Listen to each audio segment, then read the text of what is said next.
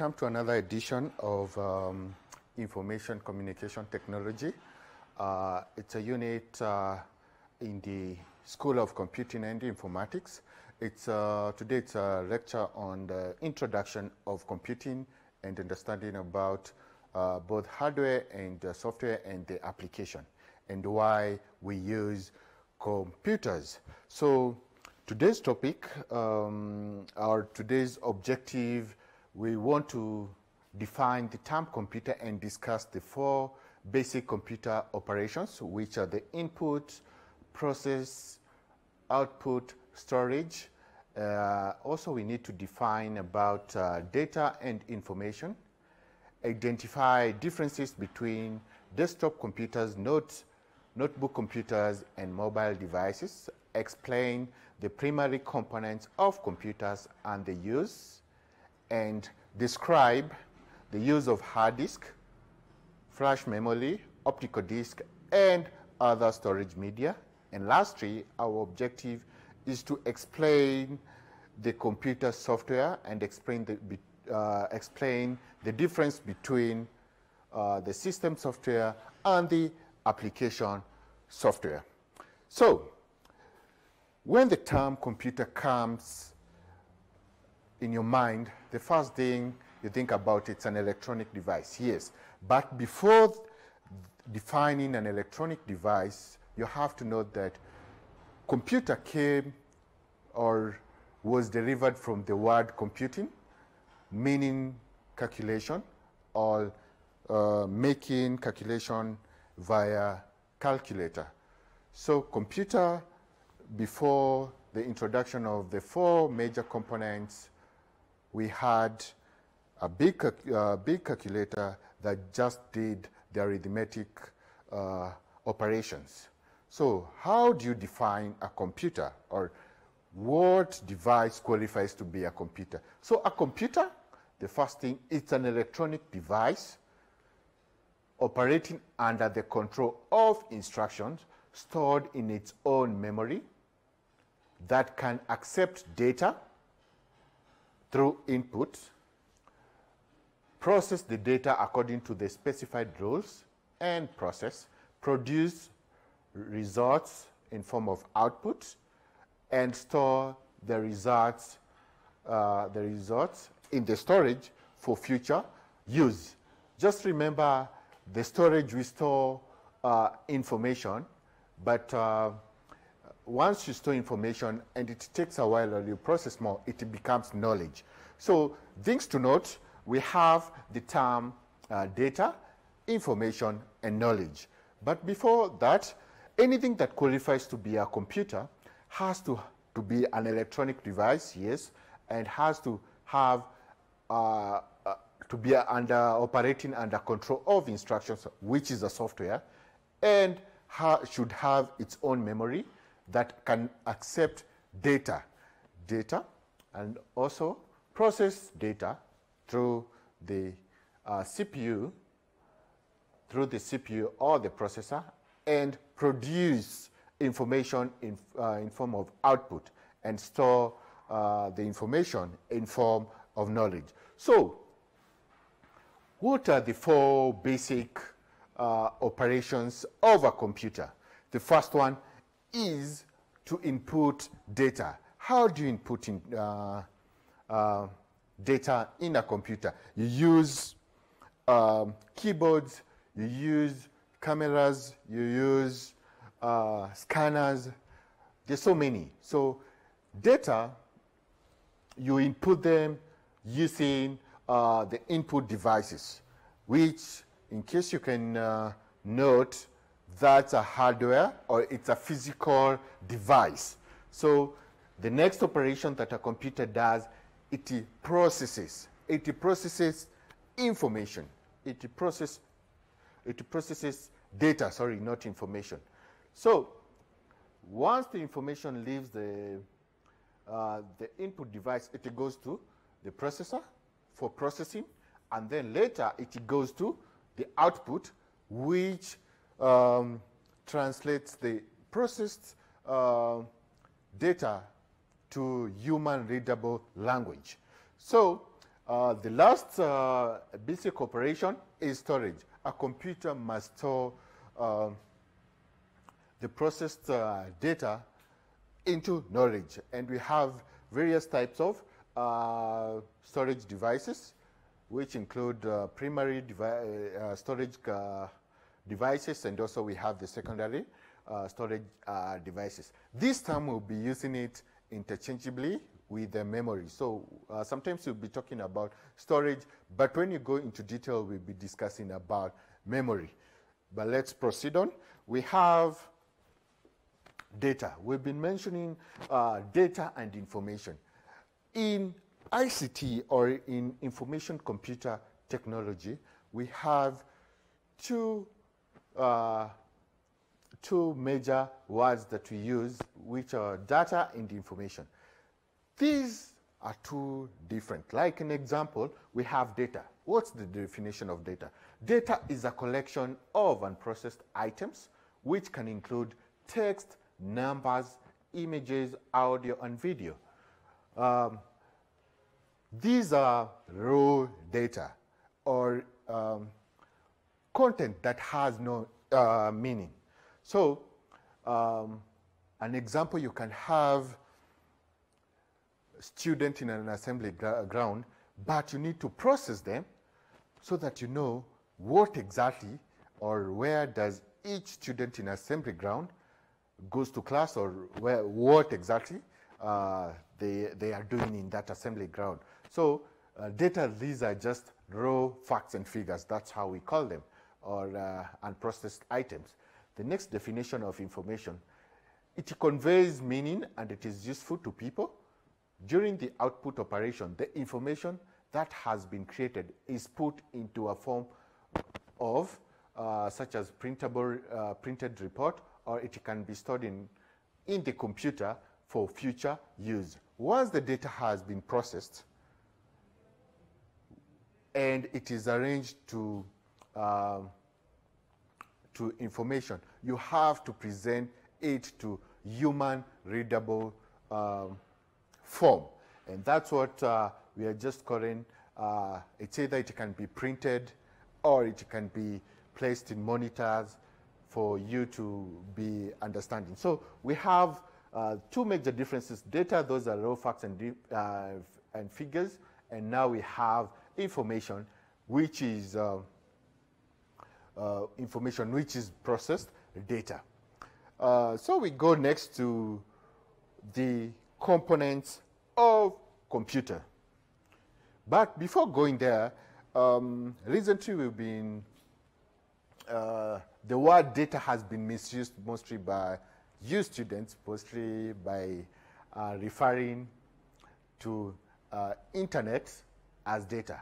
I don't think now you'll be using that term data because data, those are raw facts and figures. So so in your exam papers, I don't want to see people defining data as um, MBs because uh, I had some students, uh, when you tell them to define data, they are defining it, uh, it as uh, MB. So we don't want to have such encounters. That's the real definition of information. So information, uh, some people define it, uh, define it as newspaper information. So this is, uh, as a, in case you want to be called a computer scientist, you have to be able to uh, differentiate these two uh, terms when it comes to IT. So let's go to the next, uh, or let's move on to the next uh, slide of components of a computer. We have uh, five components of a computer. When we talk about components, what makes this electronic device, right? What makes a computer for something to qualify to be called a computer? It has to have these um, five components. The first component is the input device.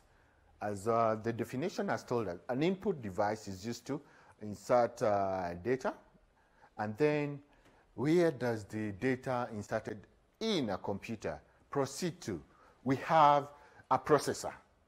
A processor Um, it's, uh, it's, a, it's a processor, but it's uh, the, this is more like an acronym or the other name. It's the central processing unit. So the central processing unit or the CPU is the other word of the processor. So these names can be used uh, inter interchangeably. So we have the control unit. In the, process, in the processor, we have the control unit uh, and arithmetic logic unit, but I can just uh, give you a highlight about uh, what's the work for these two things. The control unit coordinates the hardware bit of the computer and arithmetic logic unit does the arithmetic or the calculation of any instruction in a computer. The next thing uh, or the next component of a computer is the memory. Memory stroke the storage. The memory of a computer, it is where you store your instructions. Your instructions. Remember, all the software, anything that you want to work in a computer has to be stored in a memory. To give you a highlight or a trailer about what's a me memory, that uh, we have two major types of memory. We have the random access memory, which is called the RAM, and then we have the read-only memory, which is uh, uh, uh, the read, uh, read-only memory, which is the other type of memory. In some cases or, or in some instances, we have an extra bit, which is uh, the registers. It's classified in the memory section. And also we have the cache, cache as a type of memory. But that one we'll be discussing as we move on. But something to note, the two major types of memory we have, the RAM and the ROM. RAM, to give you just a highlight about it, it is focused on, uh, RAM is uh, focused on temporarily storing an instruction before it proceeds to the processor. So it holds uh, an instruction before it proceeds to the, process, uh, to the, to the processor. So a RAM is, can be called like a short memory. It's non-volatile. It's volatile, sorry. That means it requires power for it to operate. So when you want to increase maybe the speed or the speed of how an instruction can be held, you increase uh, the, uh, the random access memory. Uh, but we'll be discussing further on that. The next component is the output device. Remember, all these are, all these components are working inside the system unit. Let me put it like this. Let me talk like a layman person. Inside the computer, you won't be in a position to see the processes being executed. But once uh, the process has, uh, ha the data has been processed and it's ready to be presented to human, now the output devices come on board. An example of uh, output devices, we have the printers, we have, um, we have the monitors, right? And they they bring the aspect of the human-computer interaction. The output devices should be friendly, right? Like the speakers. Speakers, it's an example of an output device. A speaker is able to give you the audio of maybe a conversation. So once an input device, like an example, let me use the speaker and the microphone an input, you input your voice and it's amplified at the processor and the memory, and then the output is the speaker. And so output uh, devices are used to amplify information. So, or to present it in, um, in a human readable form. Uh, then we have the last component, which is the storage device, storage devices. Here I mentioned we have different storage devices. And when we talk about storage devices, we have the hard disk, flash disk, we have the CD-ROM, right? But for this generation, before uh, about 15 years ago, now in 2020, that's like 2015, we had something called the diskette, which had a memory of about 5 MBs, uh, 5 uh, mega, megabytes.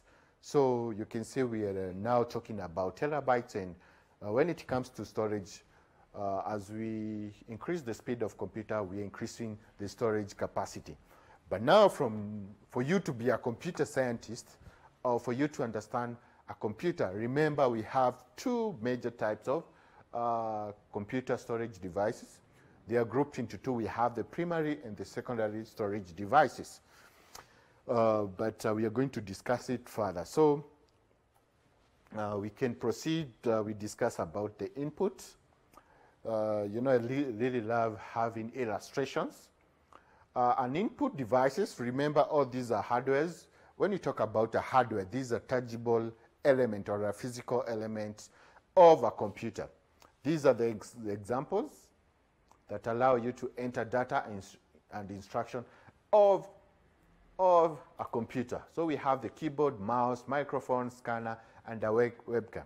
This is an example of an input device. I think the class can keep on guessing. It's the keyboard. This is a keyboard. We have different uh, types of keyboards. We have wireless keyboards. We have the touchpad. We have, there's so many. QWERTY, all those, all those are input devices. Let's proceed. We have the central processing unit. The central processing unit, into brackets, the processor. The processor, my first uh, mentor when it comes to computer science uh, to, uh, used to tell us that uh, a processor is more like the brain of the computer. Yeah, it's the brain, but we will we will present it on a on a on a seminar and discuss it. I don't think it's a brain of the computer, but this is more like the the abdominal place of where you process everything in your body. So it can't be the brain of the computer think it's the abdominal, uh, abdominal part of the computer. So the processor is also called the CPU, which interprets and carries out basic instruction that operate a computer. Any operations in a computer is carried out in the CPU. So we have two types of, of uh, uh two parts of a CPU. We have the control unit, which directs and coordinates most of the operations of the computer. So, to summarize this, it coordinates all the hardware components of the computer. In terms of the input, output, it has to know that after the input, the data has to proceed to the next part, which is the processor. So it coordinates all the, uh, all the operations of the computer.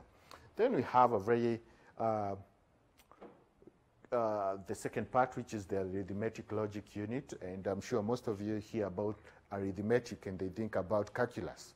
So today we're not talking about calculus.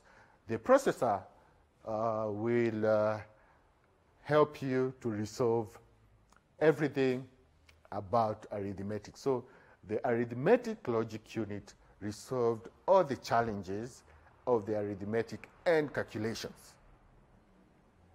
So for those guys who, who did not like, um, who did not like mathematics, this is your hero, the arithmetic logic unit. It, it does all the operations in, in, in, the mathematics. So these are sample of how a CPU looks like, and uh, a very important thing, something to note that anything that is too good is not, it doesn't look all that beautiful. So what does that, does it tell you? Never ignore such an important element of, of, um, of the computer. So CPU is very, very important. Let's go to the next element, which is called the memory. Memory consists of electronic components that store instruction, are waiting to be executed, and data needed by the instructions. So it stores instructions, and these instructions you go to the basics about uh, computer and instruction. These are softwares or programs. So they hold an instruction before it is executed, and we separate them uh, into two, two main ones. Don't misquote me. We have two main ones. We have the random access memory, which hold the instruction before it proceeds to the processor. So, an example you've uh, you've instructed uh, an application to to access maybe something on your computer. It first goes to the random access memory in case there's space. It holds there, it, uh, and then it proceeds to the processor. So it stores the information temporarily, and the higher your access memory, the faster your machine is likely to be. Uh, the access, the random access memory, this is a sample of uh, random access memory. Uh, and the next thing is read-only memory. This mostly, it stores information permanently in a computer. It stores information permanently in a computer. I do not have, uh, uh, and an example of a read-only memory, it's a flash disk because it doesn't require power. It stores information permanently. We have the hard disk, which stores information um, uh, permanently. The two difference between these two, it's very, it's, uh, it's, uh, it's very unique. Read uh, random access memory, you can increase it to increase the speed of the processing. But when you increase the read-only memory without considering the read-only memory, there will be a challenge. There will be a challenge of speed. In most cases, you student, in case you missed your basic about uh, computers, it's called hanging. But uh, uh, in computer, we talk about interrupts and missing. When there's a miss in the execution, never use the word hanging in my class or in my presence. So we'll be talking about interrupts and uh, and uh, other terms. So these are at your free time. Make sure you work uh, in checking the difference between the random access memory and read-only memory.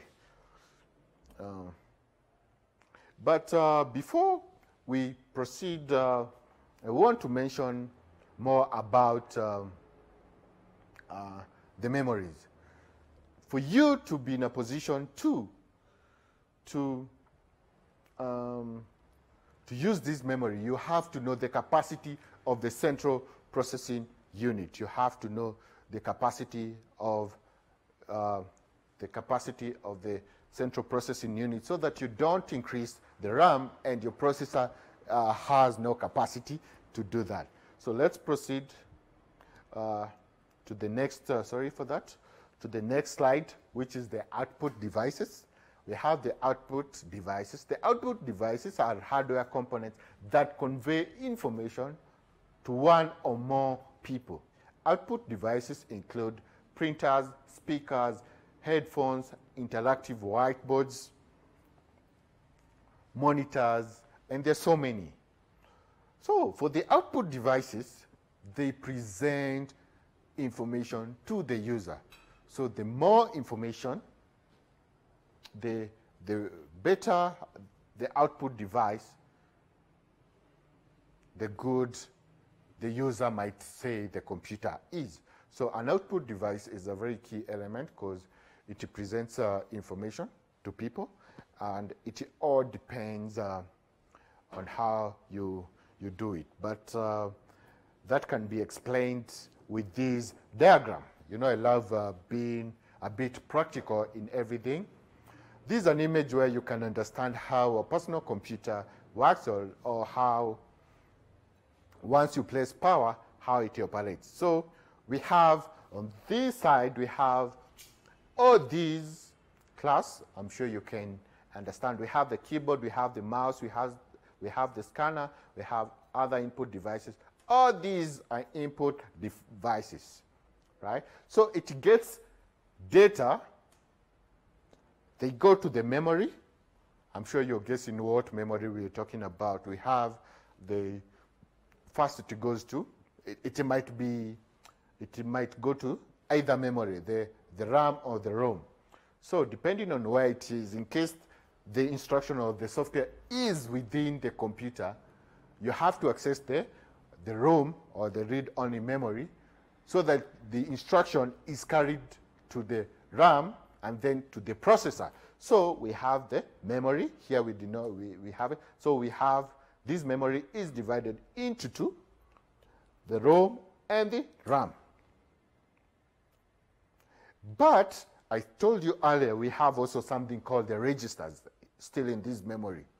The registers, and also we have the cache, or cache, cache, depending on the village you come from.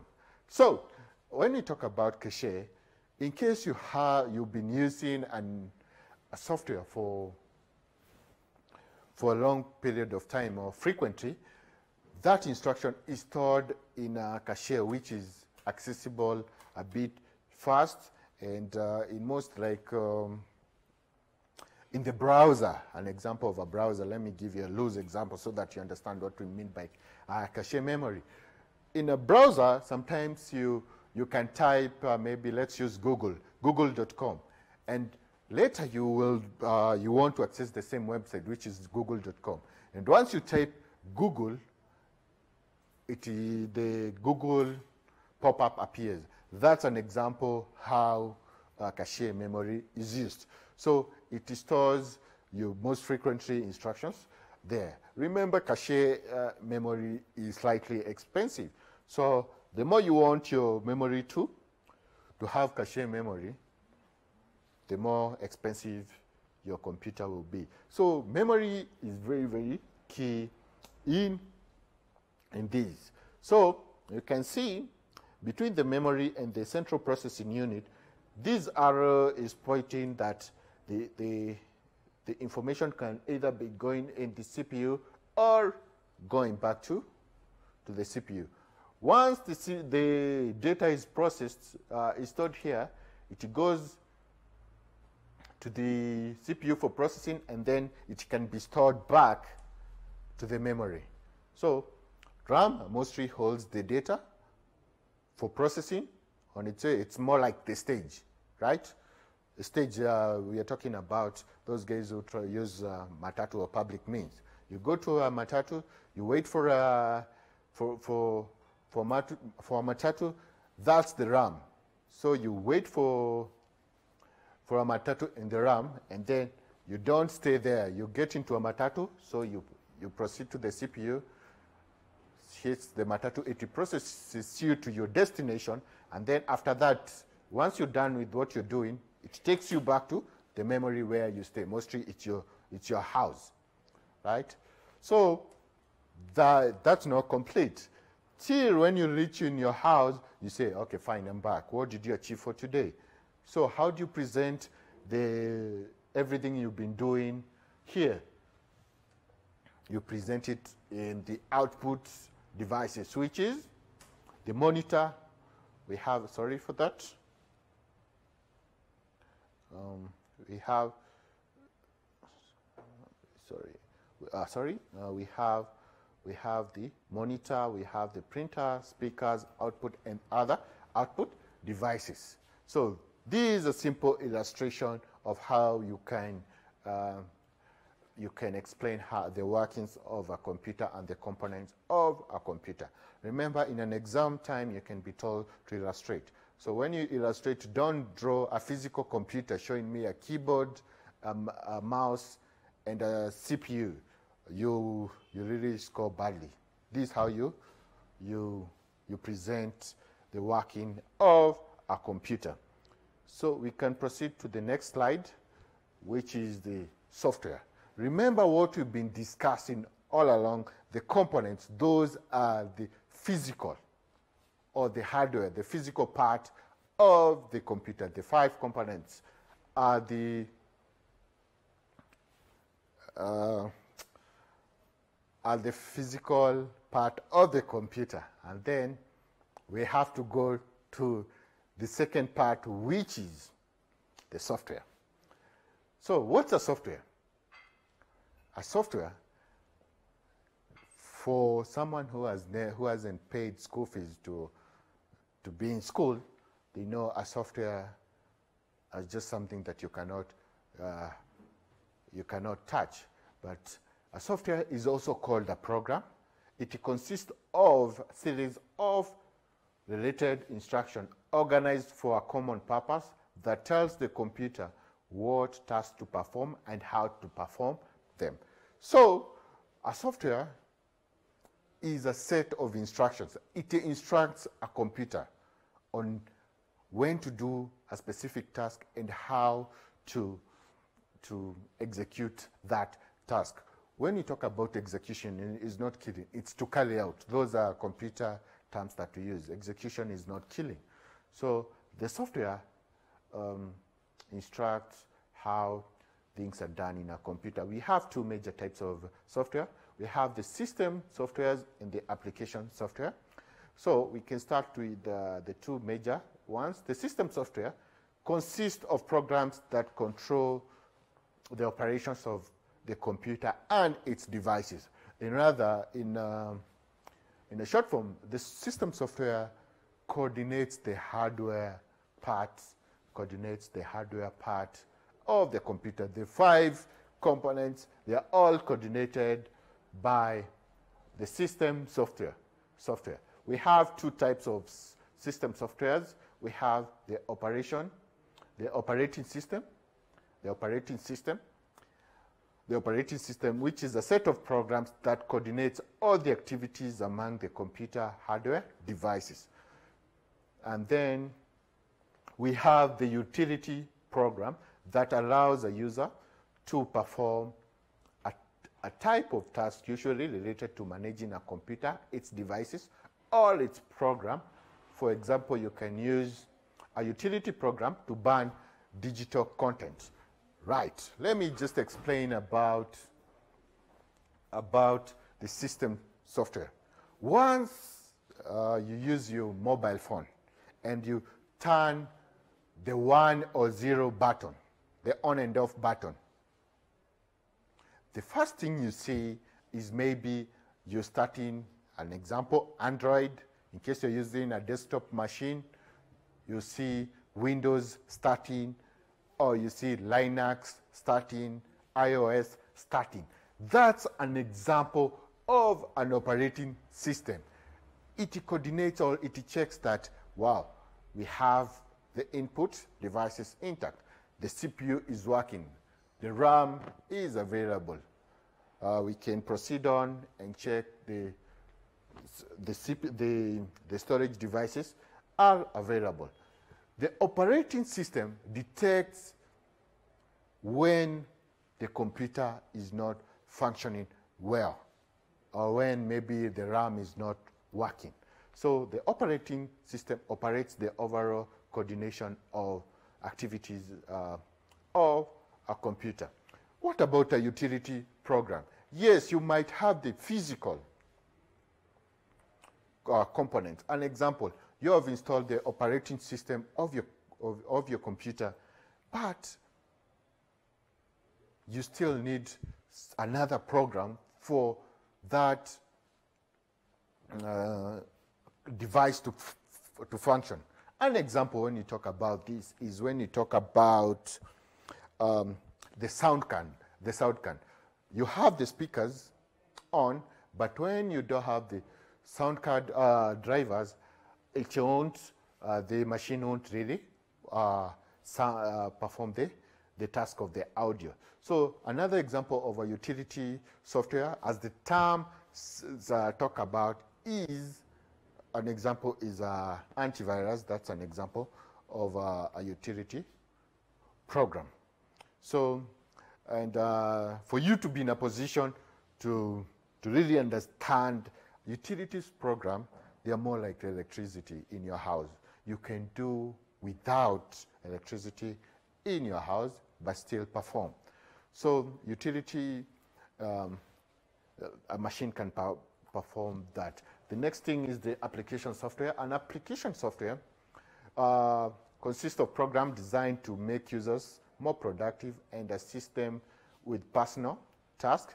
These include personal information management, note-taking, project management, accounting, accounting, management, computer-aided design, desktop publishing, and so forth. So application software can be say to be a software or an instruction that is helping uh, that is helping a user to do a specific task, a specific task. When it, they are very specific. So an application uh, software does a specific task. So an example, we have the word processing, which is used to create, edit, and format, print documents.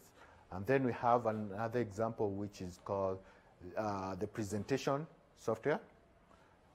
It allows uh, users to create visual audio aids for presentation to communicate ideas, messages, and other information to a group of, uh, of people like what I'm doing. This is an example of a presentation software. Then we have spreadsheet uh, softwares, which allows users to organize data in rows and columns and also help in calculations of the data. We have the last part, which there are so many. We have the database, which helps in storage and uh, retrieval of information in, in a computer. So all these computer, uh, all these uh, application software, we will be focusing, we will be working um, specifically on these four, these four application softwares. So you have to be very conversant with uh, these uh, softwares. Like an example for this class, we'll work on word processing using Microsoft Word. We'll use uh, the presentation, which is the PowerPoint, and then we have the spreadsheet software, and then we will have spreadsheet with Excel. We will work with Excel. Then we will have the database, uh, which we are going to focus on access. But as we move on, we'll be working more on advanced software, but because this is just an introduction, you're going to work on that. So um, that's the end uh, of uh, lesson one. And uh, we'll be, next time we'll be focusing on uh, memory and how to apply memory, uh, different types of memory in computers. So thank you very much. Till next time. See you. These televised lectures supplement our robust online learning going on on our MKU online platform. You can view more on our televised lectures via our online platform. We are in a digital era and Mount Kenya University knows this. The following are the steps to follow so as to complete your online application. Download the application form from the website www.mku.ac.ke. Attach copies of your academic certificates and ID.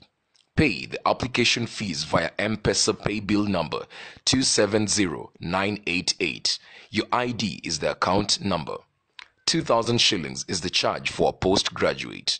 You can also deposit in the bank accounts provided on the website. Then email all the above to apply at mku.ac.ke.